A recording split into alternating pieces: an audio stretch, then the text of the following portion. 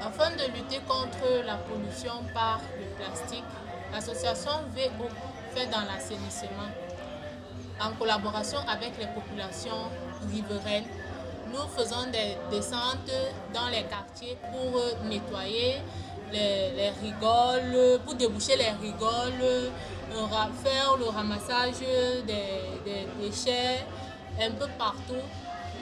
Pourquoi? Parce que nous avons constaté qu'il y a de plus en plus d'inondations et ces inondations sont dues au fait que l'on retrouve des bouteilles plastiques, des déchets plastiques dans les rigoles et dans les cours d'eau, ce qui obstrue le, chemin de l'eau et cette eau finit par se retrouver dans les ménages et autres. Et nous constatons également qu'on retrouve énormément de déchets plastiques dans les océans, dans les mers et les océans. On a même fini par parler de septième océan.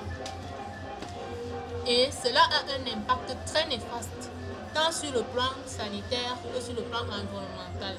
Ceci est, puisque ces, ces plastiques contaminent les organismes qui se retrouvent dans ces eaux. Et lorsque nous les consommons, eh bien, nous pouvons avoir des cancers, euh, on a des problèmes de cancer, de stérilité et autres. Ceci est dû au fait que l'on retrouve des substances chimiques très toxiques dans, dans ces organismes provenant des déchets plastiques ayant contaminé ces eaux. De même quand nous constatons également que lorsqu'on brûle les déchets plastiques, ceci contribue à déverser dans l'atmosphère des gaz à, rejeter dans l'atmosphère des gaz à effet de serre qui, euh, contribuent au réchauffement climatique. Et nous constatons, nous tous, nous vivons les effets de ce réchauffement, de ce changement climatique-là.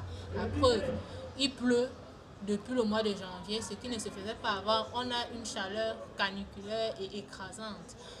Nous avons également la disparition de la biodiversité. De nombreuses espèces euh, euh, aquatiques et même terrestres disparaissent à cause des déchets plastiques car ceux-ci détruisent leurs habitats.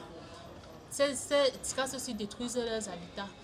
Nous, nous, on constate également que les déchets plastiques sont à l'origine de la disparition du couvert végétal. Et ceci est très grave parce que s'il n'y a plus de couvert végétal, il n'y a plus d'arbres. Et nous savons tous que les arbres contribuent à capter les gaz à effet de serre dans l'atmosphère. Donc, ils contribuent à la lutte contre les changements climatiques.